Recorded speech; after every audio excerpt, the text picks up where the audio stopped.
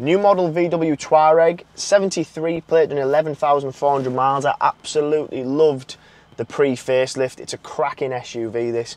Loads of spec from VW as standard. Great style, and they've just improved that style by adding some new lights, which I'll show you to the rear. They've changed the styling on the front as well. The colour is pure white. The spec is a black edition, which I think in the black edition, truthfully speaking, the colours look great anyway, but with the white, you see a lot of the contrast. So obviously you've got the gloss black features, you've got this new illuminated LED running across the front bumper.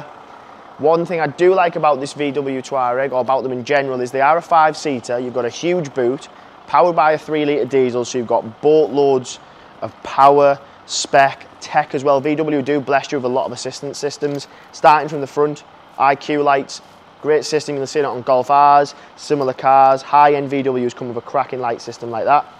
New wheel style, never seen these before. I like them, they work well with the black edition. So you've got a multi-spoke and it's got a centre sort of fascia on the interior of them as well. So nice, good size wheel as well. So it fills that wheel arch very, very well. Black mirrors, window surrounds, full size panoramic sunroof. I love the interior. This is the big thing for me on these Touaregs. I looked at similar cars like Audi Q7s, BMW X5s, but the interior is what wins it for me on the Touareg. You've got plenty of space in the back which is what you would want if you're looking from an SUV. That panoramic sunroof is absolutely massive. So the reason I stress that is a lot of cars, when they do have a pan roof, they're not that big, but what you want is a full roof like that. It's an opening sunroof, which works great. Full leather inside. To be fair, the rear seats don't look like they've actually been sat in, to be honest. So it's in very, very good condition, but plenty of space across the back. Isofix points specifically for the children. Gloss black inlays with it being a black edition. When you get to the back again, they've made a nice little addition, which is uh, very cool to say the least. So the VW emblem is now lit up via LEDs. The camera systems, I'll show you when we get to the interior, but they're front, rear 360. If I pop the boot, which is the big selling point for me on an SUV, if you're looking at a car like this, it's probably because you need to carry something of substantial size. So huge boot space, air suspension, so partner that with your 3 litre diesel V6, 286 brake horsepower these engines are, so plenty of power from them. Automatic tailgate, which again, always a nice feature on a car like this. This car listed originally at somewhere around about £70,000. We're selling it for considerably less than that, so huge saving from new, low miles for its age, but this is where the thing really takes over compared to other SUVs for me. That screen in the middle is 15 inches in size, controls absolutely everything from your cameras, your heated seats, your audio, everything is controlled from there. You still have that huge virtual cockpit.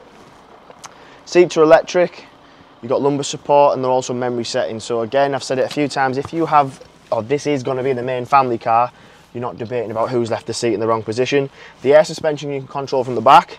There's different settings to the front as well, so if you were gonna go off-roading it, you can do that, no problem whatsoever. Eight speed gearbox, and for me, one thing I noticed when I drove this car is it's very, very quiet. Three litre diesel V6, plenty of power, but it's quiet at the same time. So if it is going to be a mixture of city driving, suburban, rural, then you can do it no bother whatsoever. That display is one of the best that you can physically get, in my opinion. I don't think many will disagree with me. From there, you control all the stuff I spoke about. So one thing I like with VW have done is they've got away with, gone away with all these buttons and everything in here. You literally just control it off there. So your seat heating, your heated steering wheel, Everything else is all controlled from there. If I press this button up here, you control everything. It's very tablet-like feel to it. Your navigation, your, your Apple CarPlay if you wanted to. If I pop it into reverse, rear view, aerial view, then you've got different views if you want to play around with down here, 3D view. So there's all sorts going on to help you park it, drive it safely. On the topic of driving it safely, got adaptive cruise control, speed limiter, heated wheel, lovely place to look and sit. If I slide the roof open, Give me two seconds, there we go. So not only is it a huge opening roof, but the section that does open is literally 50% of the roof. So it lets in a lot of air, a lot of light into what is one of the best looking cabins that money can buy.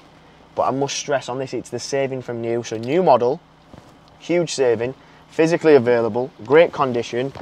So it's just an all-round great buy. Cracking SUV, I love them for the drive. Very car-like, they don't drive like an SUV, they drive like a car which is exactly what you want if you're looking for something like this.